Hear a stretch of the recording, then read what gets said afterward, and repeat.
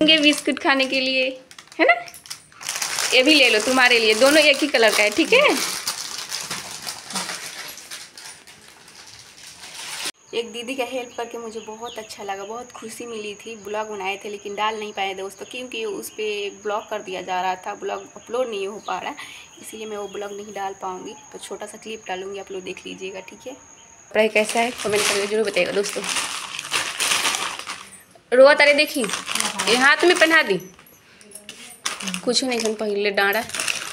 ये पुचारी पहना दी। हाय तो दोस्तों, मैं कैसी लग रही हूँ? कमेंट करके ज़रूर बताइएगा दोस्तों। आज है सावन की दूसरा सोमवारी तो आप लोग भूखे कि नहीं भूखे कमेंट में ज़रूर बताइएगा दोस्तों। तो मैं नहीं भूखी हूँ। Hello friend good morning Har Har Mahadev. कैसे आप लोग? उम्मीद करते हैं आप लोग बहुत अच्छे होंगे, स्वस्थ होंगे, मस्त होंगे। मैं भी बहुत अच्छी हूँ दोस्तों।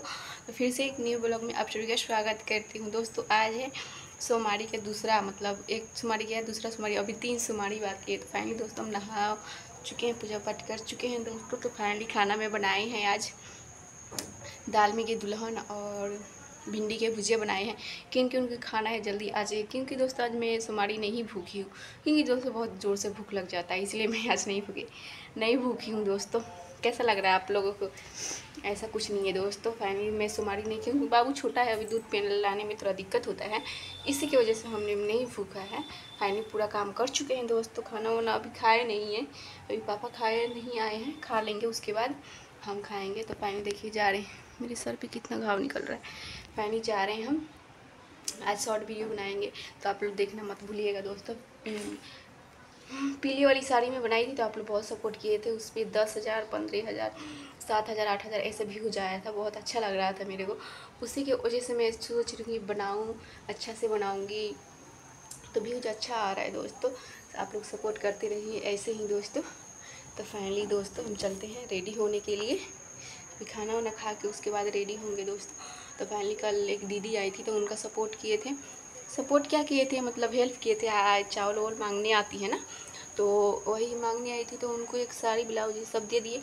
वो ब्लॉग डाल रही हूँ तो पता नहीं नहीं अपलोड हो पा रहा है। तो मैं सोची कि थोड़ा थोड़ा थोड़ा क्लिप डाल दूँगी। आप लोग देख लीजिएगा। मैं झूठ बोल रही हूँ, नहीं, मैं झूठ क्यों बोलूँगी दोस्तों? एक छोटा सा बाबू आया था मेरे, बाबू जैसा था, चार महीने का था, लेकिन मेरे बाबू तो साल भर का होने वाला है, दो मंथ में। तो भाई दोस्तों, उनको दो सीट कपड़ा दी, न्यू न्यू। लोग बोल रहे थे कि नहीं, पुराना दे दो पहने को हम बोले कि छाली नहीं देंगे बाबू को। बना हुआ, कपड़ा क्यों देंगे? अच्छा नहीं लगता है दोस्तों। तो उनको दो सीट कपड़ा दिए थे और चावल वावल होता है, खाना वाना खिलाए थे दोस्तों।